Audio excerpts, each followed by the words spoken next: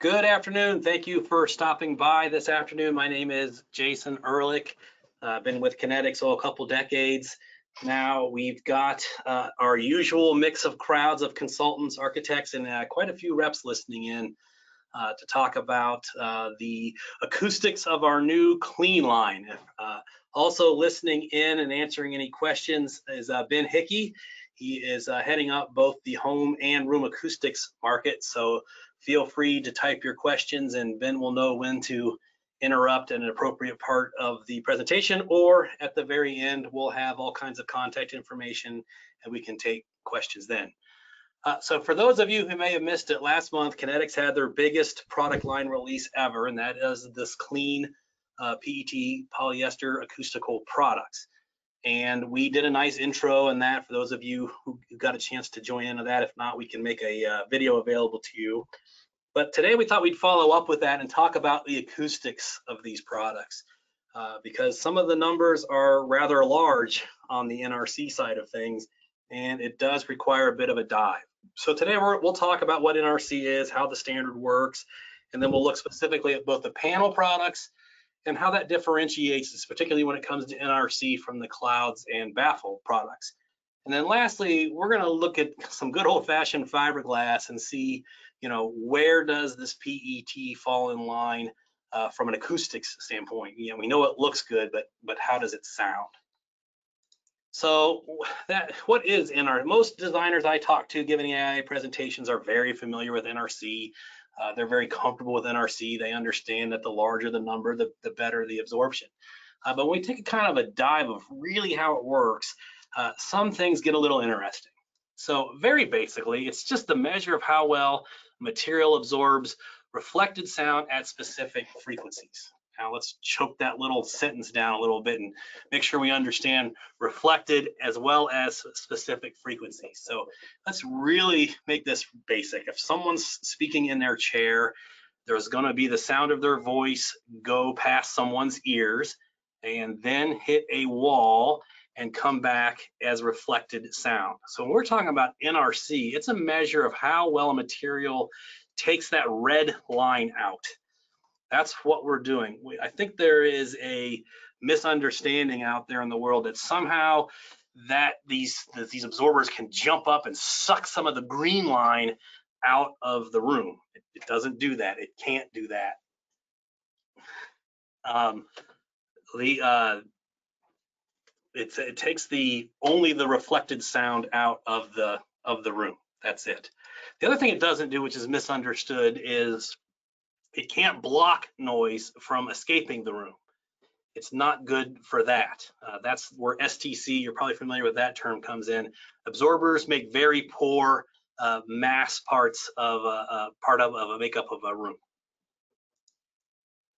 So the the NRC uh, it does follow an ASTM standard C423. Uh, it hasn't changed a whole lot, and here you can kind of see a report from 1996. I just kind of threw it in here because it does a good job of highlighting the specific frequencies that make up NRC. But what they do is they take basically the percentage of the absorption of the red line that came off that thing out of the room. Uh, in other words, at, at this, I'm sorry, at the specific frequency. So if we look at 250, 500, 1000, and 2000, at 250, for example, it basically would remove 32% of that red line through this test methodology. To get the single NRC number, we add all those frequencies together. Here we get 3.2. We divide it by four, and you see we have an NRC of 0.80. Uh, a question comes up quite a bit. How come you can get above one? Isn't one 100%? One is 100%. It is removing all of that red reflected sound out of the room. How that, why that happens is has to do with the peculiarities of the test chamber. When you have a raised uh, absorptive element versus a flat floor, uh, that does some wave diffraction and that causes some of that uh, difference and they've kind of did a calculation to figure out what the how to come up with a constant And they discovered that there were other peculiarities in the standard that also had to be taken into account. So there is no real easy way to explain why you can get above one. Uh, they basically have agreed, we all understand the standard, we're all just gonna agree one is 100%. So that's the very uh, basic explanation of why you can get above one. It's just keep in mind, one is 100% of that reflected sound. Now this particular chart I took off from a competitor's uh, competitor's website, and I don't particularly have a problem with this, but I often tell architects that I think NRC is mostly for manufacturers to kind of beat their chest and say we have a 0.95 NRC and our competitors only have a 0.80. And so here you can kind of see what they're claiming, and I don't disagree. The differences in these NRC numbers does it make a difference. And I would say as long as you are apples to apples to apples, asterisk, asterisk, asterisk, this, this is a fair chart. Uh, generally speaking, a panel is a panel, and they're going to, there's not going to be some miracle uh, version of their fabric at, uh, on top of the panel as maybe our top of the panel. Now, there are different ways to make those panels where some of that magic can come in. First kind of apple to keep in mind is how was it mounted? Uh, there's a different ASTM standard that covers how these panels are mounted. 95% of all the tests you see out there for NRC is probably A mounted, which means it's basically 72 square feet of the absorptive materials laid on a concrete floor, which I find kind of fascinating. Think about that. We are judging these products at these different NRC numbers based on how 72 square feet of material perform in a lab. Uh, it is important to keep in mind that there are all kinds of different mounting types and typically uh, type A mounting is going to be the worst uh, performing because there's no airspace behind it. It's just literally the product laid on the floor. Uh, I can't say that these are kind of the more common ones that we see mounted. Uh, type B is basically adhering the acoustical uh, element to the floor. Uh, type C, you do see, and that's where they'll take a product and then they'll add some kind of absorptive material behind it. Type D is they will mount continuous wood strips to create an airspace behind uh, the absorptive product. Type E, quite common when you see for drop ceilings. They'll test how well it blocks noise uh, with that airspace behind the, uh, the, the product. Uh, type F, you'll see the test report will define what it is. Type J, we're going to talk a little bit about today. That's basically a mounted from, from the deck. And you know, this is a competitor's product and I'm not going to, I'm not trying to lay fault with them whatsoever. I'm just saying, make sure when you're comparing your apples that you are seeing what you're seeing. A, a, sales representative could come in and say, hey, this particular product has an NRC of 1.00, and they wouldn't be lying. They might leave out the fact that there's absorptive material behind it and that it by itself at one inch thick is only an NRC of 0.40. And again, not laying fault with the, with this particular product. They're very open. They they don't they're not trying to pull the wool over any eyes. But if you as a as a specifier don't understand the differences of how these are mounting, this might not make a whole lot of sense to you. So let's talk a little bit about putting airspace behind the absorptive material. And this is our PET. This is our panel. It starts at 3 eighths inches thick. Now there's no magic sauce here. You can't expect that a 3 8 inch thick material is gonna perform the same, same as one inch or two inch material as well. But what you can do is put some airspace behind it. So here we see the exact same panels at 3 eighths of an inch thick, right flat on the floor, has an NRC rating of 0.3. But if we put just two inch spacers on the floor, we can raise that up to 0.55. And what you'll see happening is there's a manipulation of the wavelengths and it's able to kind of push the lower uh, lower wavelengths, uh, longer wavelengths, manipulate those, and that's how you're getting that kind of performance boost. And there you see going from two inches to four inches, you get another, you know, tenth. So you're you're kind of losing that effect really quick because it just doesn't have the ability to affect those lower wavelengths more. When we talk about baffles and clouds, and we'll just say spaced object absorbers to steal a phrase, NRC is probably not the best way to look at that. They do offer J mounting as part of the NRC standard, what the the problem with J mounting is it's designed for things to be hung from the ceiling but spaced close together. In NRC, you've got to be very cognizant when looking at these reports are what's exposed in the room because the face of the of the material is what does the absorption. But I will tell you, don't take our word for it. We like our partners at Riverbank because they're kind of fighting the good fight too. And from the test report that we did for these products, you can kind of see highlighted there, there is no standard for when you space these things apart. You don't want to look at it uh, from a mounting type of A or E. There is no standard for it. And that's where we can kind of get into some problems. For example, from that same report, again, we love our partners at Riverbank for trying to bring the, the truth to, to, to us is depending on the method you use, uh, you can get an NRC of 0.25, you can get an NRC of 0.35, you can get an NRC of 0.75. Uh, now, in our 20 minutes today, I don't want to get into the, what all the differences are between all these things, but it has to do with how much of that face is exposed to the noise, uh, to the noise source. And the, this highlighted part is the, is the thing to really pay attention to, especially this sentence here. This method is favored by some material manufacturers since it yields very high NRC figures, but does not provide a fair comparison with other ceiling tile or wall products. And Riverbank basically says it's probably not what you should do, it's just for comparison. All right, so what can we do? What is a fair comparison? Well, that's where Sabins comes in. And what Sabins are very basically, it's just a measure of absorption per unit. We're not looking at 72 square feet of material in a room on the floor or mounted in a certain way. We are actually trying to break it down and say, what does this unit do? There's actually a couple different ways we can kind of break that up. We can look at total absorption in the test chamber, or we can look at absorption per object. Even under those, we can kind of even do finite. So as a measure of square meters of lab space, what was the absorption at these different frequencies? There's your Sabin units. What about uh, how much absorption in that total chamber from the uh, from number of Sabins units? I'm sorry, that's per Sabins per square meter. That's Sabins overall.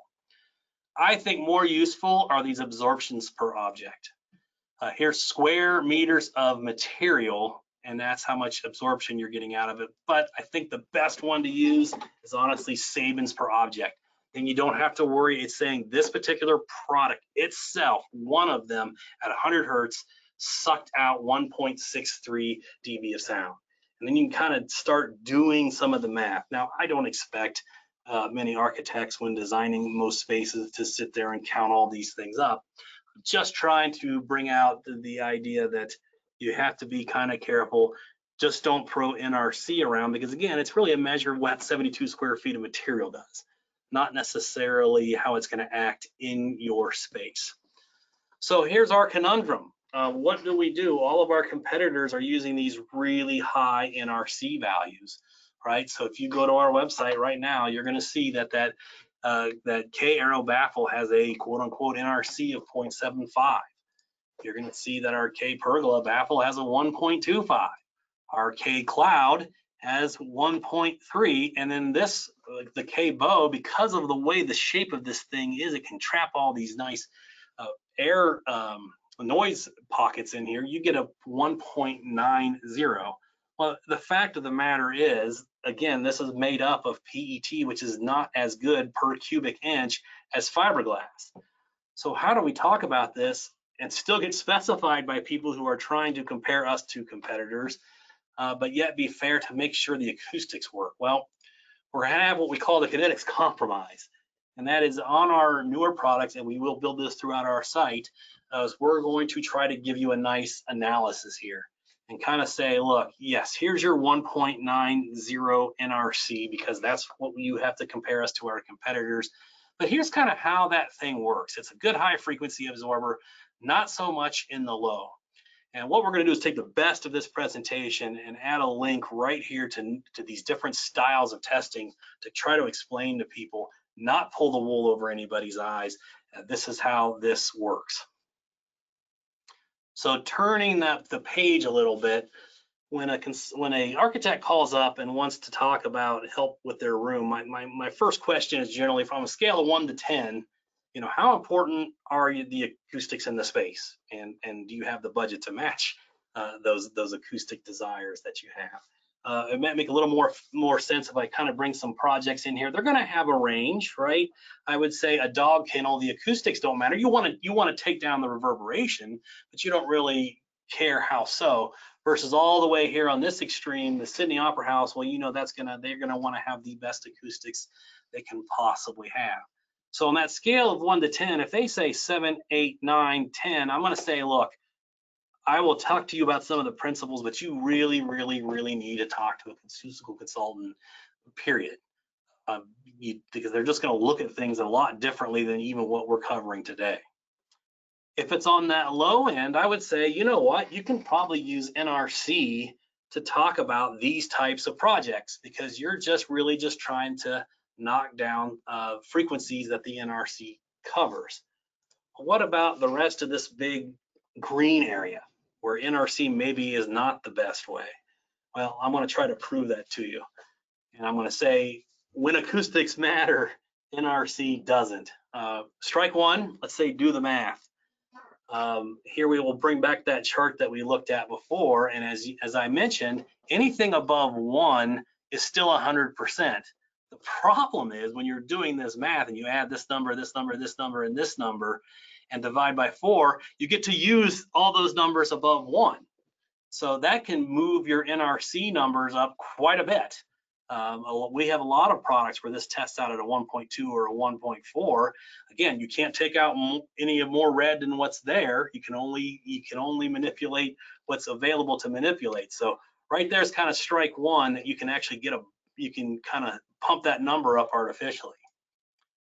Strike two, you know, do you hear what I hear? Well, the human ear is actually uh, kind of tuned to higher frequencies. And what we're seeing here is the noise criterion charts. Uh, basically tells you how quiet to build certain rooms like hotels or studios.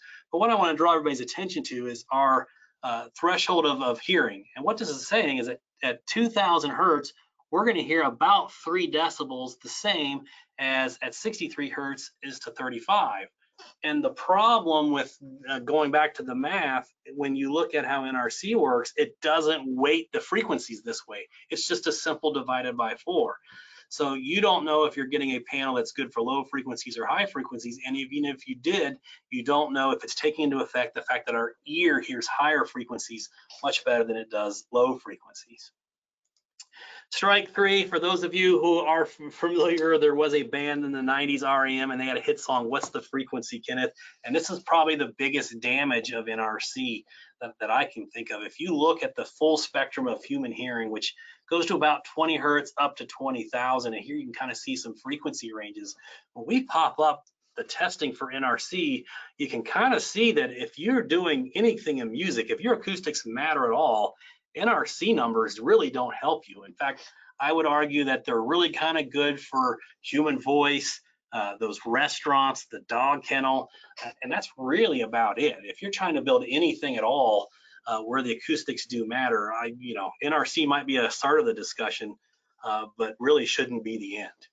And to kind of drive that point home, if we take a look at building an auditorium and we say from low frequencies to high frequencies, this is the ideal line that you're shooting for. Well, let's start building that auditorium. The first thing we're gonna do is add some materials. Well, there's your building materials. Believe it or not, unpainted drywall, unpainted CMU is a little bit absorptive. Uh, soft goods like seatings and curtains, also good, particularly on the high frequencies. So you can see we haven't added one acoustic product and we're still kind of halfway home to this point.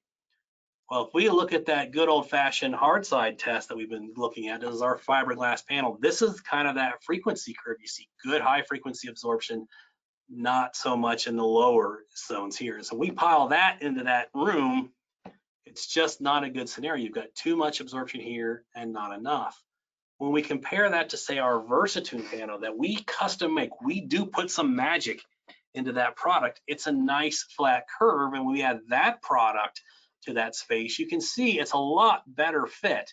Now, again, we can add other materials that are better on the low end and take even more off the high end and even get that straighter. And I think that's a good point. You always want to do a mix and match of materials when the acoustics matter.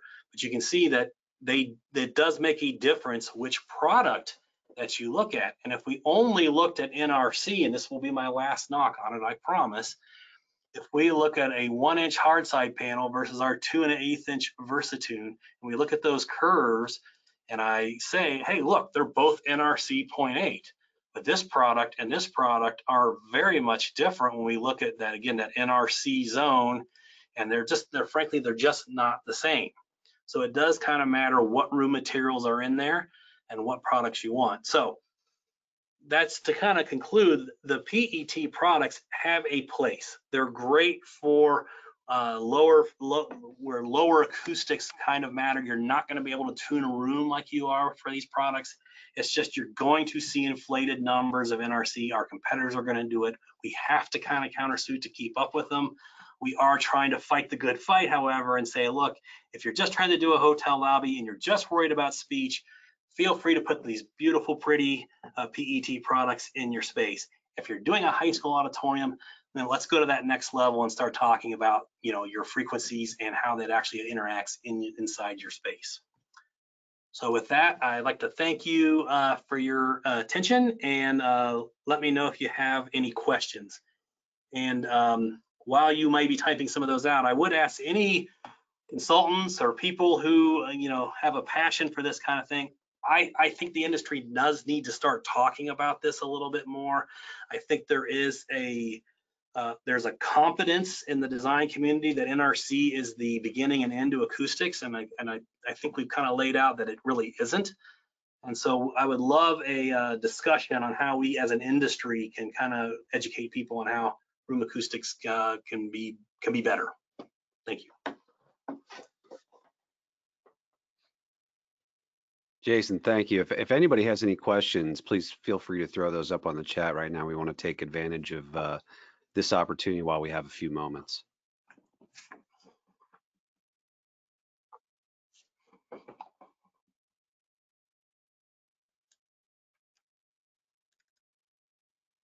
And I guess uh, while we're while we're waiting for that to, to file in here, I, I think one thing too that uh, if anybody who's on here has worked in a in the home theater world and and especially nowadays that they're um, the, the the low frequency absorbers are really kind of the bread and butter of what a lot of people are looking for these days, which Kinetics is in current development of one that's uh, uh, we're going to be quite proud of once once it's all said and done here. Uh, you know, the NRC that we're getting off of those things is around a 0.2. Um, so if you've dealt in home theaters before, you're probably already very familiar with how useless that that rating becomes, and how sometimes you're looking for a product with the lowest NRC possible because you want to kill off that absorption in the high frequencies and the mid frequencies. I think they're going to be easy on you, Jason. I don't, I don't see anything, any no, no activity in the chat right now.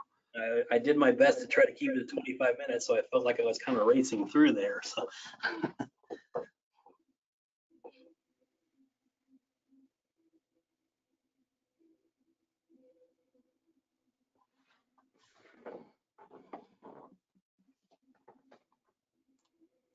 oh, here I am in the questions zone. So uh, Amber says, oh, great work, Jason. Thank you. I'd love to have access to this presentation, video or slide deck as we have more people interested in the Kleen line. Uh, we, will definitely make it available. Um, sometimes it takes a few days. Well, I, we can get you the presentation right away. The recordings can take a couple, a couple bits. So.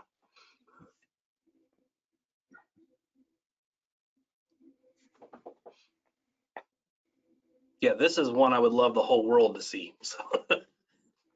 Ben will tell you I'm an advocate of, of better acoustics and NRC is not my friend. definitely, definitely. He's he's usually uh, this is him being very kind, Frank. in 20 20 minutes worth of talking about NRC. I've I've seen him uh, put the you know take the gloves off and and uh, not pull any punches. It's not not necessarily a fan, and and I and I can't disagree. I'll go back to the early days when I was going out and giving AIA presentations and building code had changed for noise control for multifamily. And so the the architects were just desperate to learn what do I got to know about STC and IIC and all those fun things. And and I learned that yeah we had a we had a challenge and we had to educate that hey you need noise control. And I also learned that uh, they they oh I'm very familiar with NRC. I know how to make a room sound good kind of realized, oh, we, so we have, on one hand, we've got to educate on, you have to use noise control. And on the other hand, we have to say, yeah, your room acoustics, you don't, we need to do differently. We need to do better. You're not necessarily treating it uh, the way you think you're treating it. So Yeah, Definitely, definitely. I think that's the harder challenge, actually. All right, they're letting you get off easy, man. All right, It's uh, it's only one day to Friday. that's right.